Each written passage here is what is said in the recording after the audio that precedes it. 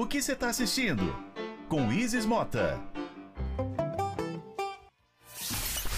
Lorena Martins. Olha só, Isis Ma- Mota Maoi! chegando. Mamá, oi! Vem pra cá, Isis Mota. O que, que você traz pra gente? Meus amigos Lá, lá, de lá, lá. casa, Lá, meus lá. colegas de trabalho.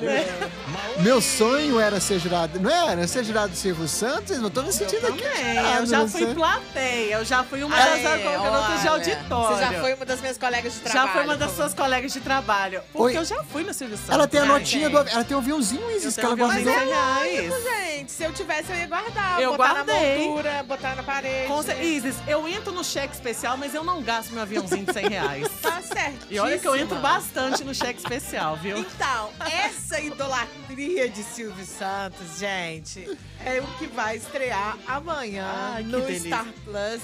O nome da série é O Rei da TV. Eu acho que não podia ser mais adequado, né? É o rei, da, TV, gente. É o rei da TV. Vamos combinar. É uma série ficcional. É muito importante a gente entender isso. É uma série ficcional sobre a história de vida de uma pessoa que ainda está viva, de uma família que ainda está é, é, na ativa. Então, é lógico que desde o próprio Silvio até a minha avó, vai ter gente falando, mas não foi assim que aconteceu. Não- é. Eu não sou desse jeito, não foi bem assim. Só que, enquanto entretenimento, é uma delícia. É maravilhoso. É uma delícia. Eu tive o privilégio de assistir do- os dois primeiros episódios Ai, antes da chique. estreia, que vai ser amanhã. E tá muito gostoso. A gente tem o Silvio Santos desde quando ele era o Cenoura Bravanel numa família que tava passando fome. Ele era camelô, né? É, antes dele ser camelô. Nossa. Aliás, o primeiro episódio, isso é muito divertido. O primeiro Uhum. episódio se chama A Geleia é Minha. Esse é o nome do Do episódio. primeiro, de abertura É. aí. E aí, numa das. Começa com o Silvio já consagrado, no auge da sua carreira, no SBT, Domingo no Parque. Uhum. Mas aí, de repente, tem um flashback pra infância dele. E é isso: o pai dele tinha perdido o dinheiro no jogo, no cassino, perdeu o emprego, a família passando uma necessidade danada e tal. E aí ele vai tomar café e fala: Poxa, mas não tem geleia? Aí a mãe dele fala: Senhor, se você quiser geleia, vai lá e compra. Ó, mandou essa. E aí, quando chega no fim do episódio, é ele botando a geleia na mesa e falando: essa aqui, a geleia é minha. Noxa, Entendeu? É- emblemático É exa- aí, né? E aí Uau. você mostra, é, eu acho que é uma forma poética de mostrar o que move o Silvio Santos, o que moveu o, o Cenoura Bravanel Que é uma a se tornar incrível, o Silvio né? Santos. Então a gente passa por toda essa carreira dele, é, na rua como camelô, no circo, criando o baú da felicidade. Uhum. Quando ele fala assim, eu vou vender o baú na TV.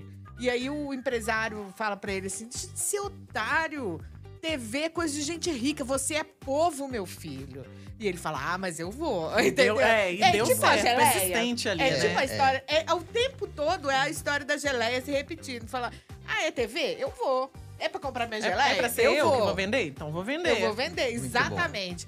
São três atores muito bons interpretando o Cenoura Bravanel barra Silvio Santos em, Em todas as fases da etapas. vida. A gente tem o José Rubens Chachá fazendo o Silvio já na, na glória do rei da TV. Uhum. A gente tem o Mariano Matos Martins, que faz o Silvio adulto. E tem o fofo do Guilherme Reis, que faz o Silvio adolescente. Oh, Cenoura Silvinho. Bravanel. Nessa onda de a família passando necessidade, ele, como filho mais velho, tem que dar um jeito, assim. Como diz a mãe, você quer geleia, vai lá e Vai lá e compra. compra, vai buscar, vai atrás, Exatamente. né? E aí a gente vê a transformação desse menino é, ambicioso no mega empresário Que é no- o Silvio que é o Santos, Silvio Santos dono hoje, da SBT, de uma, uma das pessoas toda, mais né? conhecidas do Brasil. E é muito legal para pessoas, assim, de uma certa faixa etária. Ah. Porque a gente tem o Sérgio Malandro, o Gugu, a Elke Maravilha. Gente, Eu não sabia de uma história, uma treta louca que E tem conta no- aí também. na série, Ah. é, como que o Gugu chegou no SBT, O Gugu tinha 13, 14 anos de idade. Ele escrevia cartas para produção do Silvio Santos, dando sugestões de quadros. Gente. E aí, um dia, ele foi no Domingo no Parque. E o Silvio fala: Como que você chama? E ele, Augusto. Augusto, toda- a produção falou que você escreve pra cá, é verdade? Ele é, porque eu acho que podia fazer assim, fazer assado. E ele acaba sendo contratado como ajudante de palco no Domingo no Parque. E é, Gente. tipo, fabricado E até pelo que ele Silvio Santos ganhou ali, o pro Viva a programa. Noite. É, Viva a Noite E aí, depois. qua- aí a- tem uma insinuação muito interessante, assim, do ciúme que o Silvio fica do Gugu. Quando o Silvio Santos tem um problema de nas cordas vocais e que ele não pode gravar o programa, E o Gugu a produção faz, fala, né? chama o Gugu. Ele falou, não, o Gugu não. o Gugu não, o Gugu é do sábado, o domingo é meu. Olha bom. isso, que É, legal muito isso. legal. Dizem, Patrícia Bravanel já disse que não viu e não gostou. Ah, não que viu, não, não viu gostou. e não gostou, que pessoas conhecidas dela já assistiram e falaram que não faz jus à imagem do Silvio. Ah, meu Deus. Mas assim, gente, ninguém vai fazer jus ao mito, É, literalmente, é ao vivo, mito que né? é o Silvio Santos, São né? versões aí, São né? versões, esses? É. exatamente. São versões. E, diga-se de passagem, os roteiristas estão muito bem amparados por um departamento jurídico, Jurídico, é. que está pronto para rebater Para processos. Eles estão muito bem embasados. Então eu Mete acho no que... que rebate no pé. Eles Manda, assim. manda que eu chuto, exatamente. Então, estreia amanhã, O Rei da quarta-feira. Uhum. No Star Plus, são oito episódios essa primeira temporada. Vai ter outra, já tá Olha. certo que vai ter outra. São oito episódios e vão ser disponibilizados os oito de uma vez amanhã. Ótimo. Maravilha. Vou assistir e vou trazer meu aviãozinho de 100 reais pra Ai, mostrar gente. que eu não tô mentindo. Assista, porque tá uma delícia. Bom demais.